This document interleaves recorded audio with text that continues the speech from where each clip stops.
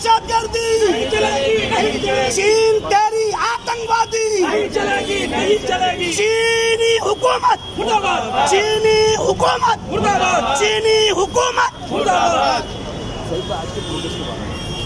आज का ये एहतजाज चाइना में मुसलमानों पे खत्म हो रहा है। दस लाख से ज़्यादा मुसलमानों को कैदी बना दिया गया है। उन पर मजहबी पाबंदी आयद कर दी गई है।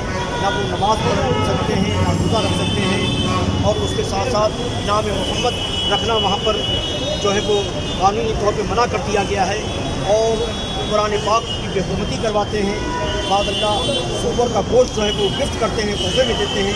लिहाजा हमारा ये मुतालबा है कि चाइना में जो मुसलमानों को कैदबंद की ज़िंदगी गुजारनी पड़ रही है, दस लाख से ज़्यादा हुकूमत चाइना उनको फौरी तौर पर रिहा करे।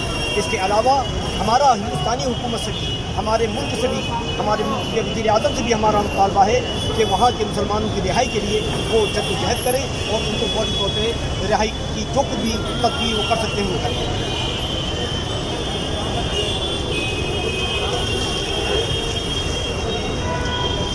सोलह के बाद से लेकर अब तक दस लाख से ज़्यादा लोग आज भी जेलों में बंद हैं। उन पर मजालिम ढाई जा रहे हैं। कुरान की तिलावत पर वहाँ लगाई जा रही है। हराम और उधर अकेले आके पड़ेगा क्या?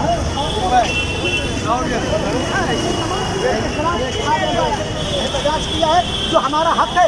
आप याद रखें, जहाँ चीन हमारे हिंदुस्तानी सरहदों पर कब्जे का खाब देख रहा है, वहीं वह के मुल्कों वहाँ अपने मुल्क के मुसलमानों पर जुल्म खा रहा है। लिहाजा पूरी दुनिया को चाहिए कि चाइना के मजालिम के खिलाफ उड़ करके और चाइना को मुँह तोड़ जवाब दें